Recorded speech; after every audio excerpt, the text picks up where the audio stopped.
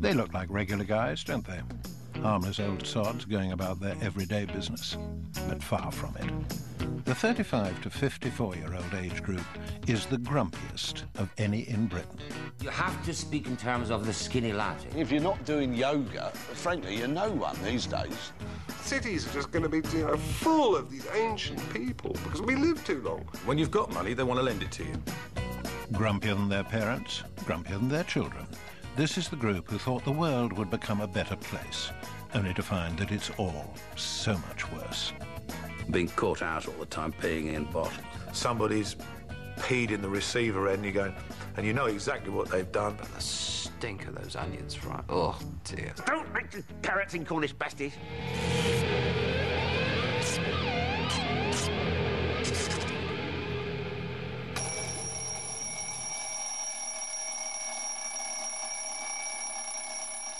It's an average morning in the life of our grumpy old men. Most parts are going to be dry today. Most of the showers are going to be across the northernmost. The weather is average.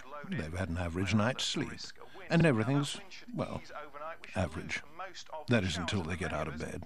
From then on, it's all downhill. And so we'll see some mist and some patchy fog once again. For many of us, it's going to be pretty cold. It seems there are people out there whose sole function in life is to piss other people off. There are the people who read the news in that odd sing-song voice, the milkman who whistles as he clanks the milk on the doorstep. There are cheerful weather forecasters, traffic wardens, and that's not to mention the teenage kids. This can be a typical day in the life of a grumpy old man. Well, not that typical because he's taking the day off. And it gets off to an irritating start, as if the news in the paper wasn't bad enough. And I systematically shake the papers. It's like delousing them. Shake them onto the floor. I have never read one of those things and I, uh, that, that fall out, and I never will, on principle. They go straight in the bin. They're, I have to say to you guys, they're never read. We don't read them. And, you know, I'm not alone in this. We don't read your leaflets. After a bad start, our day inevitably gets worse. Being a day off, our middle-aged grumpy needs to think about his expanding waistline and is off to the health club. But not before a fix of caffeine.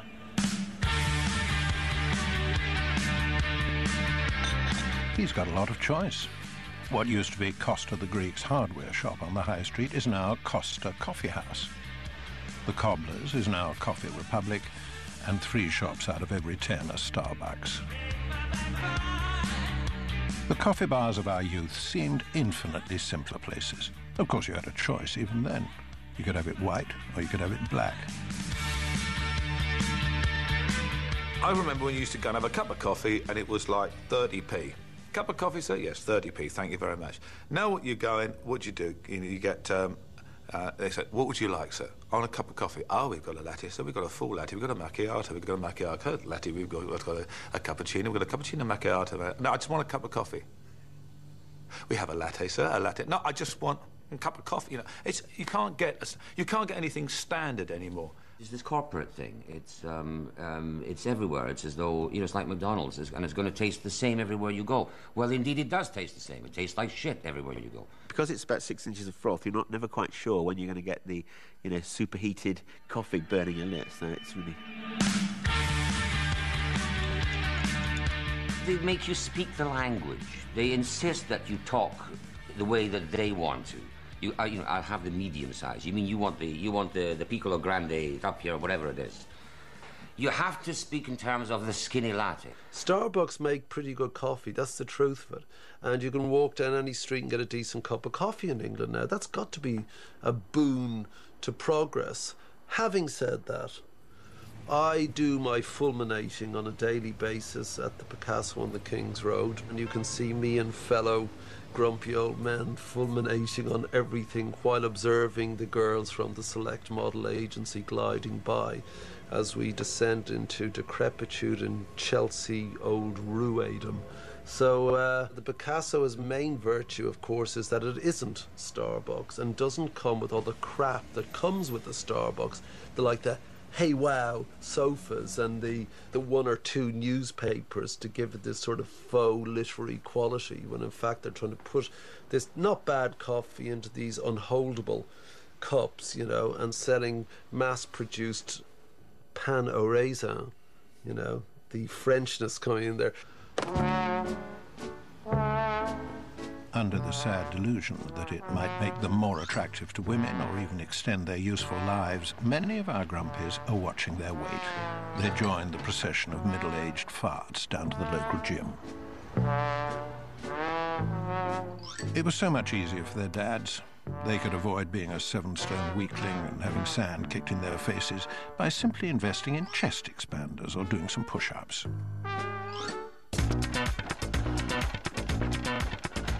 Today, it's jogging, stepping, yoga, Pilates, Alexander, aerobics, dance, and kickboxing. All under the watchful eye of a supercilious personal trainer who humiliates you for £50 an hour. If our grumpies want humiliation, they can get that at home, free of charge from the kids. I was a, member of a gym for a while, and, it, to, and I got fed up. You know, I thought this is absurd. I drive to this gym, I queue to get in with all these people, and then they all get out of the car and then go inside and run on a little thing that goes round and round and round. In the old days, there was none of this suggestion you had to be out jogging around the park every morning and down to the gym. And I mean, now there's such a. If you're not doing yoga, frankly, you're no one these days. And I refuse to do yoga. I don't want to sit there with my legs stuck behind my ears chanting. I want to be sitting at home on the settee watching telly. If I want to do a bit of exercise, yes, I'll go walking or swimming outdoors. I mean, what's the point of running indoors on a running machine?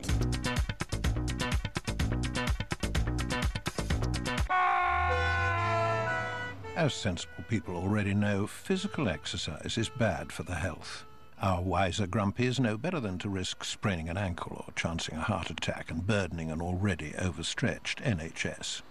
And while supporting the NHS in principle, they'd rather die in bed of a coronary than join the drunks in an inner city A&E. And all of this preoccupation with what are we going to do about the National Health Service? We want to be palliated for every ill we've got the minute we've got it.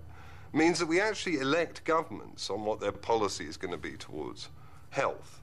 What we're really electing governments in reaction to is their policy towards death. Are they going to make my death painless? Because the statistics are bald. You know, 90% of the, of the health resources expended during the average person's lifetime are in the last six weeks of life. That's when the cash counts. It's not the rest of your life when you're wandering around, you know, shaving yourself and sort of wiping your bum. It's those last crucial six weeks. Is there going to be enough junk? Is there going to be enough painkillers to make sure that I have an easeful exit from this world? Better not vote for him. He's not going to provide me with enough. It's a deathocracy. But if you do have the misfortune to need treatment before your last weeks of life, it can all be a bitter and humiliating experience. I had to collect all of my own urine, which, if you're doing going out at nights and playing records at university, you know, at uh, uh, student unions and things like that, is a bit difficult because you have to go into the loo and wait until there's nobody there, and then you know pee into a plastic container and then put it in your pocket and come out trying to look as though you. Had. And then at the end of the day, you'd have to go to the boot of the car and uh, mix it all up. You see, all the all the pee that you accumulated during the day, you had these vast urns uh, that, that you'd go and fill up like this. When when they were full, then I was supposed to take it to hospital somewhere out on the central line. Um, and uh, I always used to have to carry it in a special bag that I'd, I'd, bought just to carry my own piss about. And I always thought how fantastic it would be to be mugged. Some, some lad rushing off down a darkened tunnel carrying several gallons of my piss. Oh, yes, we can laugh about it now. But it won't be so funny in 20 years. We all sang Hope I Die Before I Get Old. But mostly, we didn't. Far from it. And now there are too many of us, living far too long, a burden to ourselves, our families, and the world around us.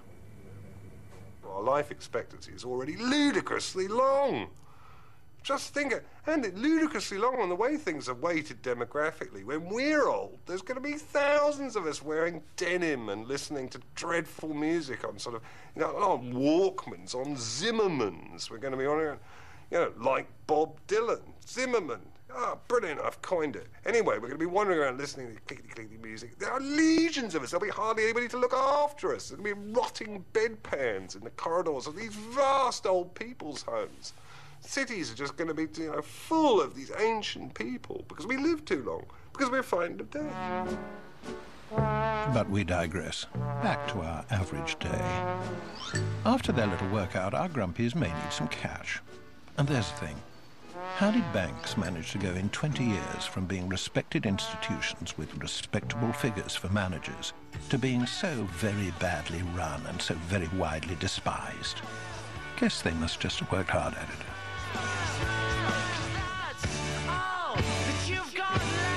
I've had a long and unhappy relationship uh, with my bank, who persistently used to write to me when I was a pound overdrawn.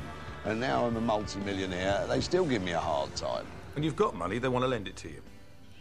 They say, we'll lend you some money. Would you like to borrow some? No, I've got some at the moment, thank you. Well, we'd like to lend you some. Why? Well, because you know you've got the money to pay it back. Yeah, but I really actually need the money when I haven't got any. Well, no, we can't lend it to you then because you haven't got any means to pay it back, have you?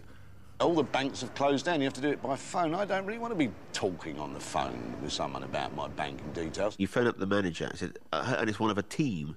Hi, we're on the uh, Premier Banking team. My name is Justin. How can I help you? I say, I want to speak to my bank manager. Who is your bank manager? And I say, you tell me. You know, you're the bank. What's your account number? And I say, you've got my name. Say, oh, no, it's for security reasons.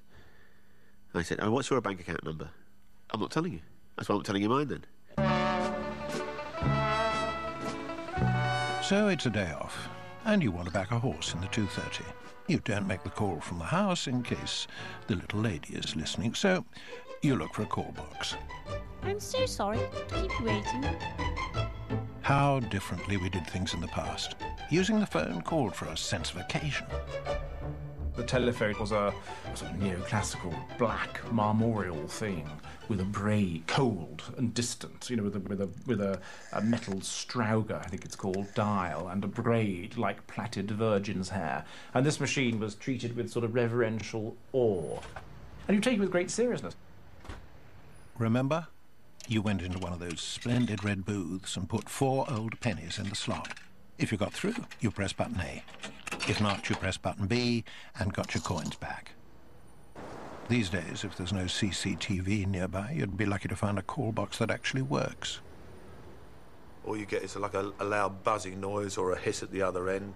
Oh, it doesn't work. And uh, you try and use your credit card and it eats your credit card or doesn't work or chews it up or in, inevitably somebody's peed in the receiver end. You're going, and you know exactly what they've done. So let's see if we can place that bet on the 230. First, find your little cabin. Is it a phone booth? Is it an internet site? Or a text messaging area? If you've got cash, it takes cards. If you've got cards, it takes cash. If you've got both, it isn't working.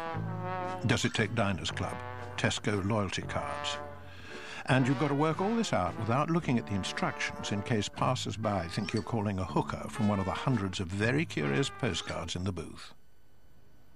I'm very disappointed that there's been this campaign to remove these cards from, uh, and I, know the sex industry is appalling and it's all Albanian gangsters, and uh, I'll probably be wiped out for just talking about it uh, now. But I find these these cards extraordinarily interesting because they offer a range of services, and I don't know what they are. I've got an enormous number of them. When I die, people will discover this huge collection of cards liberated from phone boxes and think that uh, I was a terrible old pervert. Alas, not so. So it's lunchtime. After getting the shopping, our grumpy deserves a bite to eat.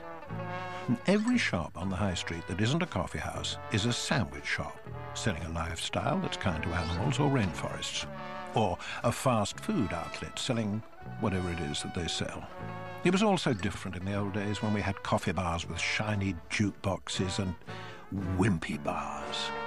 As we talk about, I remember them being utterly delicious you know, and maybe they weren't, but to me they smacked of the future and fin-tailed Chevrolets and, you know, not Dunleary. Give me a Wimpy any day over this American fast food muck. Wimpy bars came in, I guess, when I was about 9 or 10 or 11 maybe. And before that, I was very much, you know, small boy of Britain whose idea of heaven was double egg and chips. It was great because the Wimpies came out, and that was something that we could go to as, as, as kids. That actually was, was ours. And it was really great to, to note all of those and then note that, um, that the Lyons tea houses were suffering. That was like a moral victory to us. I suppose I did go into a wimpy bar once, but that was enough. I must have been starving hungry. It must have been the only place open. But the stink of those onions fried. Oh, dear. But what had we unwittingly unleashed? Where once Wimpy's had displaced the Lyons Corner House, now it was time for everyone in the High Street to move over for the invasion of the body snatchers. Big M was coming.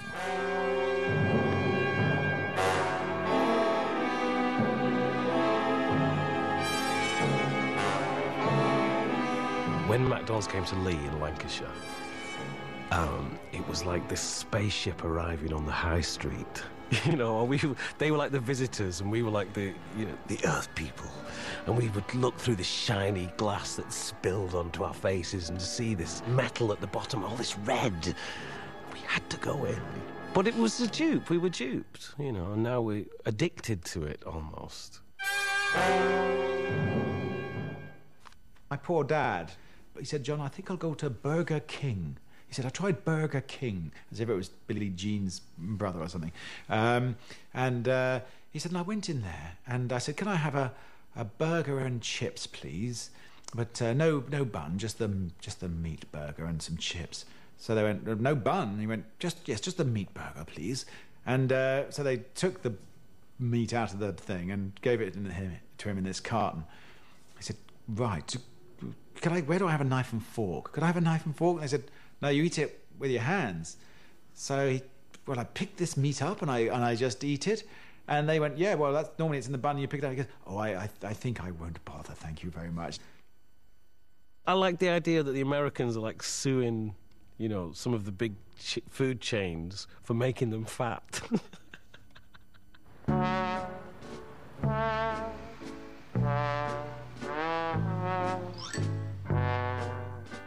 It's his day off, and he feels like spending some time in idle contemplation or reading the paper.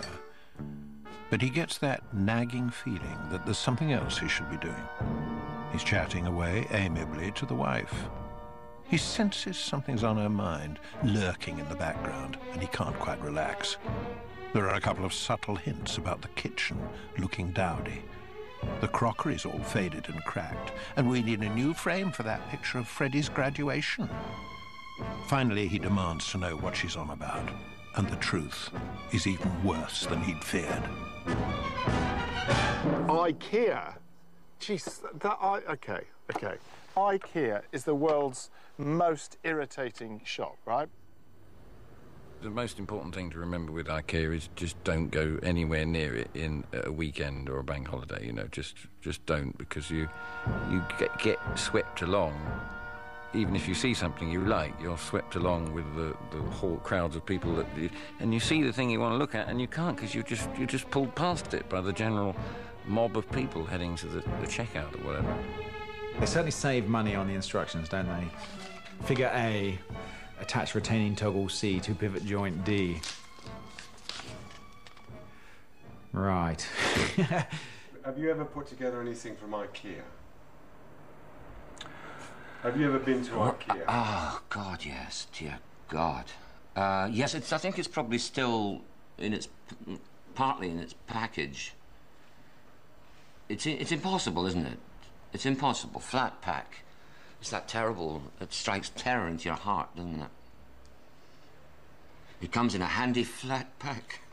Dear God. Which you'll spend four days trying to assemble and then give up.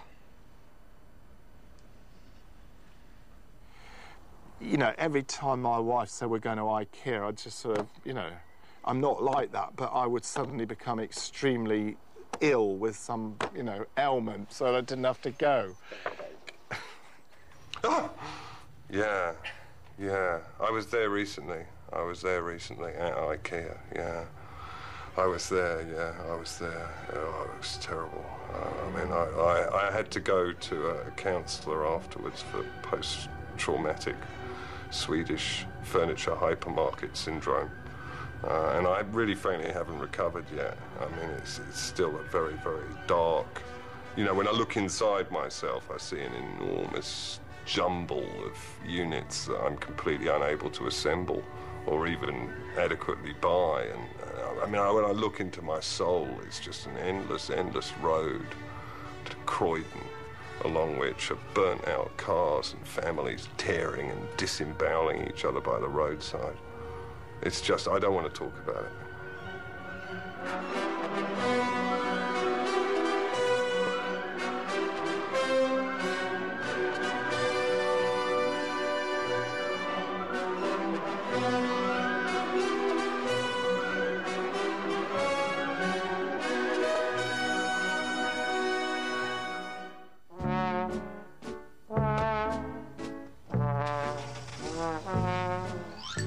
And if all this harassment brings on a migraine or an attack of the vapours, there's no such thing as popping out to the shops for an aspirin. Where once you'd stop briefly in the high street while you just popped to the chemist or the newsagent, nowadays you just go round and round and round and round looking for a space, trying to decipher the signs for residence parking, permit parking, buy a ticket, pay at meter, take out an extra mortgage for a 10 minute stop. And that's just the official restrictions. Uh, I'm sick of being clamped. I'm sick of uh, four quid an hour. Um, I'm sick of, you know, being a good citizen, going, going to one of the NCPs and scraping my roof. And, like, you know, the corners which are impossible to take without banging the sides of your thing. And then, you know, uh, and then it's 14 quid for the privilege of a three hour stay. You do see some quite posh looking cars scratched as a result of people's uh, inca- you know, inability to negotiate the tiny areas. Uh, you know, and that can, that can warm the cockles of your heart a bit. And it's always just about this time in the afternoon that the cravings start. Smoking used to be a harmless activity that provided social companionship. These days, smokers are herded outside to their pavement isolation wards, whatever the weather, to avoid all those smug bastards in the health police. Now, when I was a child, uh, smoking didn't give you cancer or make you ill. Uh, when I was very young, there was no such suggestion, and my dad, who dutifully puffed away throughout his life. And then we learn it's bad for you, apparently, smoking, and they want to ban it everywhere. Well, all right, it's bad for you. I've had to take that on board, and no doubt at some point I will give up, just as I've given up drinking, alas, because that may be too grumpy. But, um, uh, but smoking, it's annoying that you really are a pariah. You'd be better off having a, a gun than a cigarette in America, certainly. And the fact that, like now, this pub advertises uh, smoking allowed throughout. Well, big deal. That's what I would expect from a pub. Smoking allowed throughout. I don't want to be hedged into a corner with some other bloke wheezing away. I know two wrongs don't make a right, but I'm going to try it anyway and say that if, if, if I, I'll stop smoking and you give me your car keys and I'll throw them into the lake. Because it's the car that is uh, destroying the planet and, and our health more than passive smoking. I've just given up cigarettes, and I've given up cigarettes largely so that I can live longer to watch more football. I don't. One of the things that I regret most about the prospect of that I might die, I'm not absolutely convinced yet, but should I, it'll be because I won't know. The thing that will really piss me off is that I won't know next year's Champions League winner. That's what really. So football doesn't make me grumpy. Football makes me my heart sing. And sometimes I look to football as the only place left where I can absolutely feel, you know, um, happy and uh, at peace.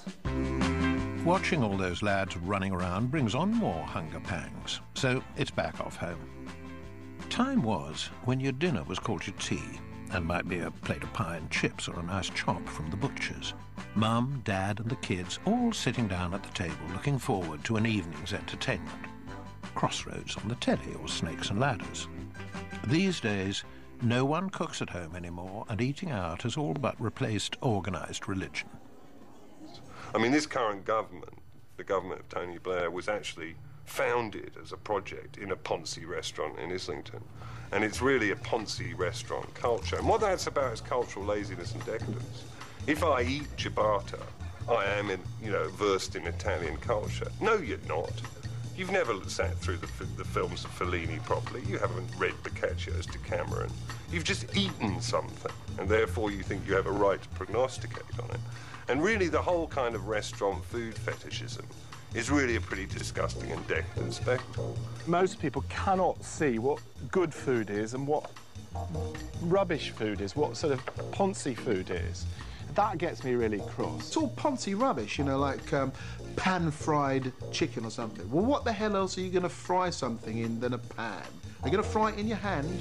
Our fruit has to look right. It doesn't really matter what it tastes like. Well, I don't mind a bruised peach or a or a slightly straggly potato if they've got a lot of taste to them. Well, you know, we, we, we uh, now I think people worry too much about a bit of dirt and grime. Children now, I mean, they're falling ill because they don't eat turds when they're young. Sorry, Arthur, just run that one past us again. Children now, I mean, they're falling ill because they don't eat turds when they're young or something. Doctor told me.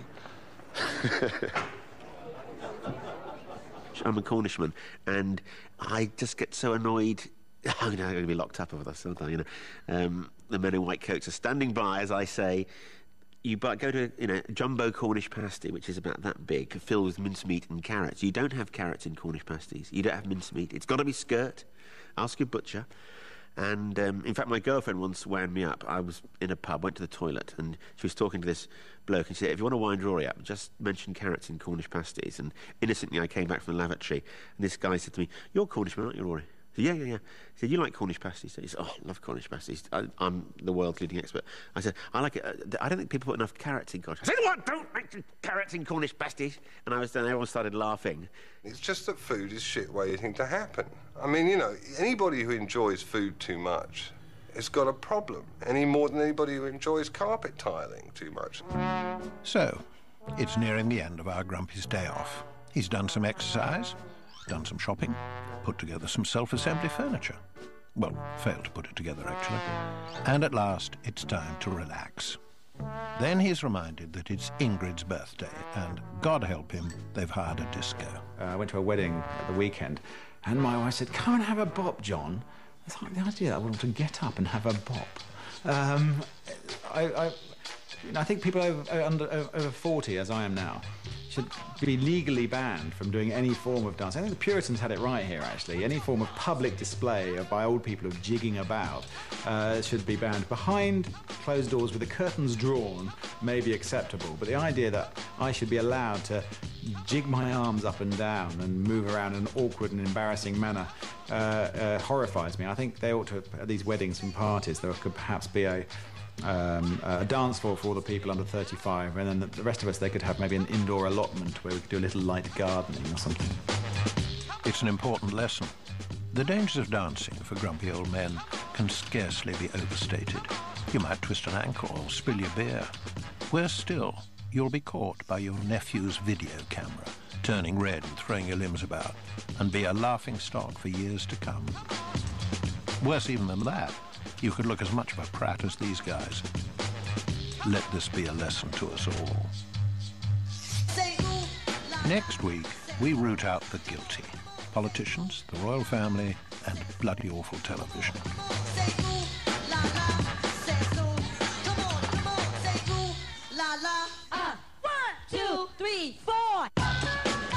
Suicide. Suicide. Suicide. Suicide. Suicide.